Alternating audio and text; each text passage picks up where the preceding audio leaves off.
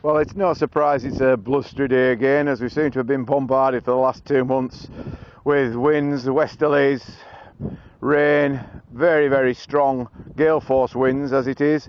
Uh, but we've been very lucky here in uh, North Yorkshire. We've missed most of the rain.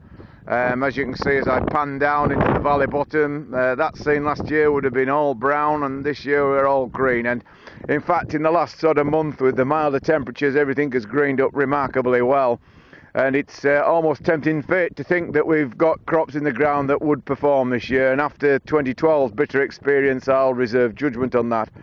Uh, many of my uh, growers would say that I'm permanently on holiday at this particular part of the year, but really, it's some of the most important walking of the growing year.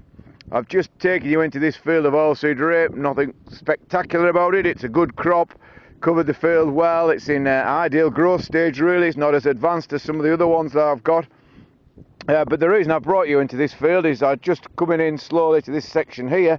Uh, we're on uh, sort of a limestone uh, above the uh, uh, the main Malton to Hovingham Road, and we basically don't have a great deal of blackgrass on this land. It's fairly workable. We can use a good rotation.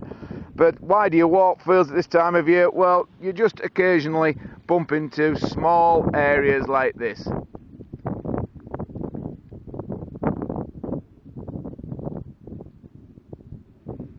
It's maybe only a metre square, and that's a nice clump of black grass, probably from a plant last year uh, that was in the preceding crop that's uh, gone there. We've had a graminicide over the winter, and that's done a really good job. Uh, no residual chemical up here at the moment, but uh, you can see there that just that one flush of black grass, and that's where we've got to really strike and try and keep the seed bank management is which the way we will be heading forward with the chemistry gradually gradually diminishing in its uh, ability to control uh, pernicious weeds like blackgrass. So this particular area is the last you'll see of it as I now get laid into it with uh, my big mitts and we uh, destroy it. But that, that's one good reason why we look at this time of year. Try and find these odd areas of uh, problematical grass weeds, get them dealt with, keep on top of it.